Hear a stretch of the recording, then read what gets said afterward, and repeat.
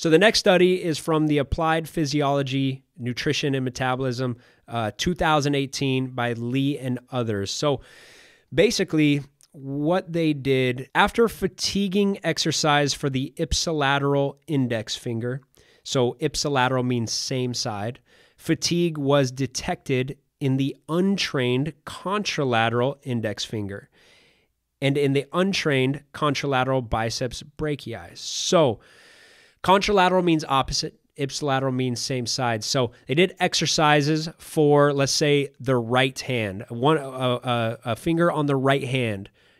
They showed effects. Not only that they showed fatigue, not only in this side, they showed fatigue in this side.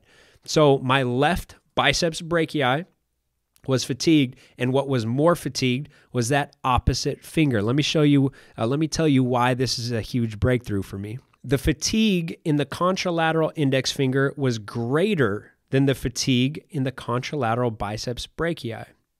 It seems that non local and therefore central nervous system fatigue is more pronounced directly corresponding contralateral muscles than in other muscles of the same limb for basically an unknown reason. So, okay, essentially what that means is you're doing a you're doing a single leg squat, all right? Let's say we're training the quads and the glutes and we're doing a single leg squat, right leg. You get done with that set, we know that okay that right leg is going to be tired and we know we've always known that there's some global fatigue right so global fatigue is just overall body fatigue you're just kind of a little bit tired, right? So now you get into that left side, and yes, you might feel a little bit more tired because that nervous system is drained. But what this study is showing, it's not just global, it's also local fatigue in that left leg. So basically, what we're doing is fatiguing a certain neural pathway. So that neural pathway that is required to do a single leg squat and, and activate those those uh, those quads and those glutes that same neural pathway is being trained on the left side. And so when we work it on the right side, we fatigue that neural pathway. And so basically that's why probably intuitively you guys have felt this. You get done with like a heavy set or or, or a single leg exercise that's really hard. Sometimes you got to put those weights down and take a second before you go into that next side. So they said the study says it's unclear why there was greater non-local fatigue in the corresponding muscle of the contralateral limb. Non local fatigue is likely due to central nervous system CNS fatigue, and it is feasible that corresponding contralateral muscles either share a neural pathway to enable basically basically to enable synchronized limb coordination. While CNS fatigue does seem to have a global component, it may also have a localized component that affects those muscles that share neural pathways. So for me, there's two main takeaways. One, when we're doing unilateral exercises, you got to train the non dominant limb first. So most of us have one leg that's stronger than the other. That's human nature. My right leg is stronger weight room wise than my left leg. So I need to train my left leg first because I know there's not only global fatigue, there's also local fatigue. So that if I train my right leg first and that's my good leg already, I might be able to hit an easy 12 reps. Now I get to that left leg, which is already weaker and now experiencing global and local fatigue from the central nervous system. Uh oh, now I'm only going to hit eight. Now I'm only going to hit six, right? So uh, train that non dominant limb first, and then maybe with that right, you're that much stronger to where you can still even it out and hit the same amount of reps. The other thing, and this is at this point experimental.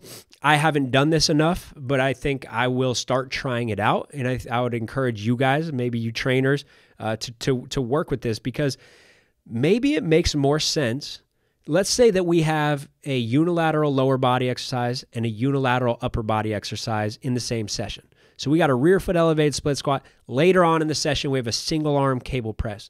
It might make sense to pair those together and train one side at a time. Like, why not? It's the same total amount of time.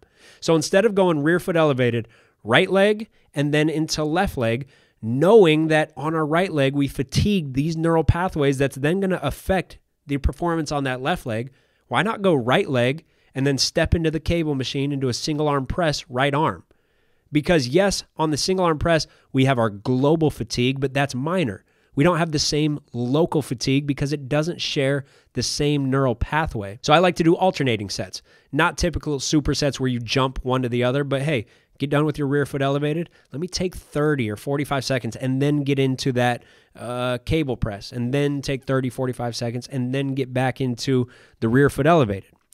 So basically, if we're going for quality reps, right? If we're going for endurance and pushing through, this may be a little different, but if we're going for quality reps, we're looking for strength, we're looking for explosion, we might want to consider doing that.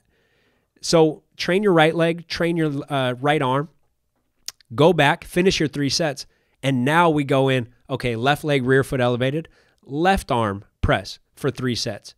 So now you get around that excess local uh, fatigue. So that's kind of, I think, that intuitively, that seems like it makes a lot of sense to get the most out of our reps. And again, I don't like to I don't like to act like things are fact until I've done enough studies and I've done my own research. Uh, so this is something that I'm going to start playing around with. Uh, but sometimes you got to throw out ideas to get people to try it out and see if their performance is increasing. Oh, and also this is actually this is another takeaway, but if you're injured on one side, and this has actually been uh, reported in research long before uh, this idea. Uh, basically, we get gains in the contralateral limb. So, this is something that we've known for a long time. So, let's say my right leg is hurt and I can't train my right leg. I can train my left leg and I actually get strength benefits in that right leg. There is just nervous system benefits. So, we actually get stronger just by training one side. So, this is something that you can keep in mind. If you're injured, you could still train that other side and maintain or or or improve that strength in that other and you probably won't improve but you could at least maintain some of the benefits or not decrease as much as you normally would uh, so i actually one of my worst injuries uh, my right ankle i just shattered the ligaments in my right ankle i was playing three on three with Darrelle Revis. Yes, that Darrelle Revis, the best, one of the best corners of all time. So this is I was an intern um, at a sports training facility in Phoenix, and he was one of the clients. So I started training him. I had a bunch of guys like Max Scherzer, baseball player, um, Darrelle Revis. This was like one of my early experiences before I was even really a trainer. So I kind of got close with Darrelle. He he had seen like this is when I first started Instagram. I was showing him some videos, and he's like, "Oh man, you hoop like that? We got to go play." Because he played in, in high school. And him and his other NFL buddies, they're all competitive in basketball. They would go play all the time. And so one day they brought me out. So I went and I played with them. We're playing three on three. Is me versus Darrelle and a bunch of his NFL friends. And I had two of his NFL friends on my team. We start playing. First of all, this is a side note. Darrelle Revis is maybe the best defender as far as like hard to shift. He might be the best defender I've ever played against. And that includes NBA players. He sees things so fast because that's his job as a corner. Um, but man, he you cannot cross this dude. He's so fast laterally, so strong, uh, and, and, he would just see things a step ahead. But, anyways, I couldn't get past him. But I, I hit a couple shots, and then I figured, hmm, he doesn't have the highest basketball IQ, so I'd start calling for screens. So I'd start working with the pick and roll because they didn't know how to operate through a pick and roll. So now I'm getting buckets, I'm dropping dimes. These guys are football players. They can't just out physical you. You got to know the game. So we get to game point. I go off the pick and roll and I'm driving. And I don't know if it's Darrelle or I don't know if it's one of the other football players, but I'm going up for a layup and this is game point. These guys are competitive. They're not about to just lose. Somebody wraps me up from behind takes me down, and it was at an awkward time where my foot was turned.